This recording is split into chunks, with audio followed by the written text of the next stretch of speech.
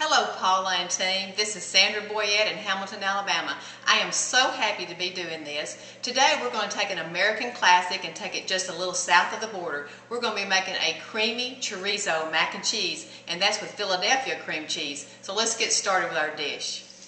All right, we've moved over to the stove, and what I've got going here is uh, some chorizo. It's a 10 ounce pack of chorizo, and I'm rendering the fat out of it. And we're just going to let that continue to render as we cook up here. And in this uh, pan, I have some butter, about three tablespoons of butter, and a tablespoon of garlic. And uh, I've got a large pan. It looks large for this amount of stuff, but I'm going to be adding a lot of things to it. We're going to be making a bechamel sauce uh, in this pan. So I've got the butter and the garlic, and it's browning it up. And don't let your garlic get too brown because it'll get a bitter taste if you burn it. Also, on this back burner, I've got uh, water that's waiting on me. When I do mac of any kind, I always have my water waiting on me and I leave it on simmer until I get ready to pour my noodles in.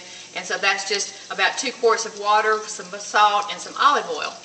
So we're going to get back to this and we've got our bechamel sauce going. And you know, bechamel sauce is used for so many things like Alfredo and it's a basic base for mac and cheese. And so now I'm going to add a little bit of flour, and that's going to be a thickening agent for us. And I'm just going to stir this flour in just to kind of take the uh, flour taste off of it, you know, so it'll get a nice garlicky flavor.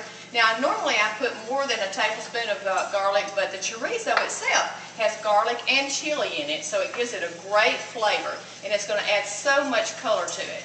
So now our, our flour, you should do this about a minute or so on like medium heat. And to this, I'm going to add two cups of heavy cream.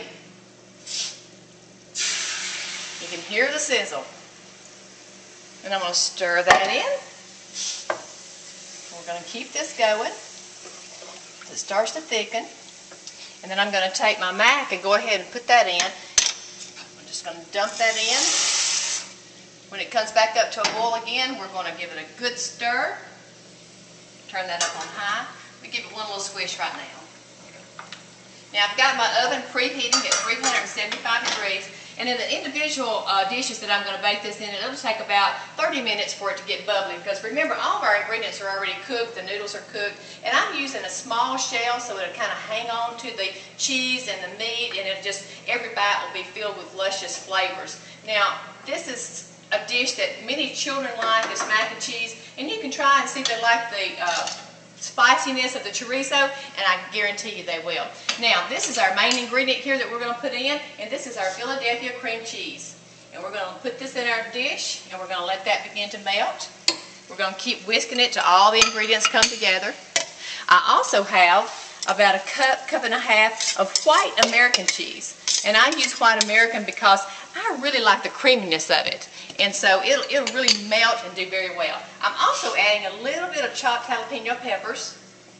And then I'm going to render the fat off of that. I'm going to add my uh, chorizo to this in just a moment, but I'm going to let the cheese melt first. All right, we've got this going. I think I can bring the heat up just a little bit. See if my noodles need to be stirred some. Oh yeah, they're boiling great. So I'm going to take the lid off. Going to place the lid right over there. We're going to let those go.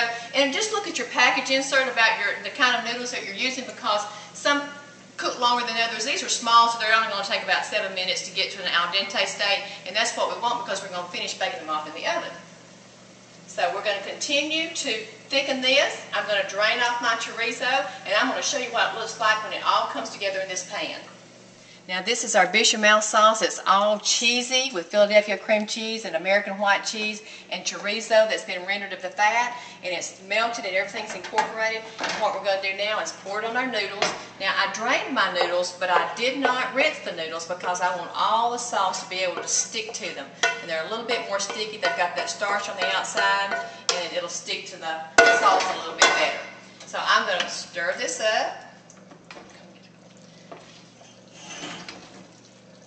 And we're going to put this in individual ramekins. We're going to serve this for dinner tonight with a little toasted bread and maybe a margarita. So let's see what it looks like when it comes out of the oven. So here we have our creamy chorizo mac and cheese. And as you can see, I've topped it with some jalapeno peppers. Uh, a little bit of cilantro. I've got our toasted bread here next to it on the side to complete our meal. This is a one dish meal and all you have to do is skip the drive through and prepare this for your family tonight and they're going to love it. I've got it coupled with a little flan, a margarita, and it's a delicious, easy meal and I think it's something that you'll really enjoy. I've had a wonderful time. I hope you enjoy the recipe and as usual, find something that you love and share it with someone.